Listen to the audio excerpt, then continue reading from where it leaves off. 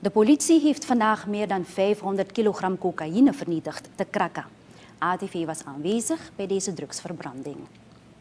De politie heeft de afgelopen periode veel drugs onderschept. Dit verderfelijke spul moet zo snel mogelijk vernietigd worden om uitspattingen te voorkomen. Dat zegt hoofdinspecteur Judith Drachtenstein. De drugs die zijn verbrand zijn in de periode tussen maart en mei van dit jaar onderschept. Er zijn vooralsnog geen verdachten in beeld gebracht die iets te maken hebben met de partij van 486 kilogram die de vorige maand de Caymangracie in beslag is genomen. Er is altijd drugs in Suriname geweest, maar uh, we doen ons werk beter met assistentie van buitenlandse uh, informatiediensten, waardoor we meer drugs kunnen onderscheppen. Ik zit niet in de drugs, dus uh, waarom ze zo groot worden weet ik niet. Maar één ding is zeker, het bewijs is daar. Er vinden drugsdroppings plaats.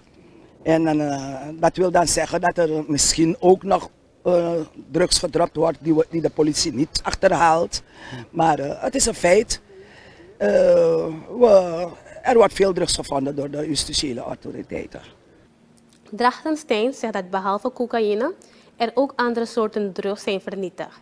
Het gaat om 506 kilogram cocaïne in vaste vorm, 13 liter in vloeibare vorm, 6,6 kilogram marijuana 10 ecstasy-tabletten en 302 gram sucro. We hebben wel een afgebrand vliegtuig in het Goliath-gebied gevonden.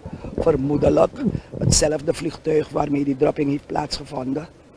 Uh, uit informatie dat ik wel met u kan delen is wel gebleken dat er twee personen uit het vliegtuig waren gerend, want er waren jagers in het gebied. Maar die hebben we niet kunnen achterhalen.